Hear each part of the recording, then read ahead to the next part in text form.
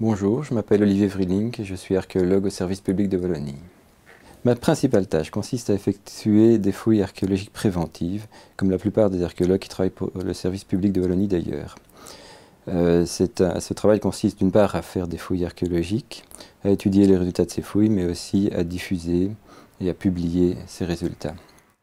Euh, par le hasard des chantiers qui m'ont été confiés, je me suis spécialisé en archéologie mérovingienne et dans une moindre mesure proto-historique. Durant mes loisirs, je pratique la spéléologie et l'escalade, et de ce fait, j'interviens régulièrement euh, sur le terrain lors de découvertes fortuites en milieu souterrain ou euh, lorsque des techniques de corde sont nécessaires. J'interviens par exemple pour faire le relevé de puits ou pour, euh, pour faire les relevés de carrières souterraines qui sont découvertes à la suite d'effondrements de terrain.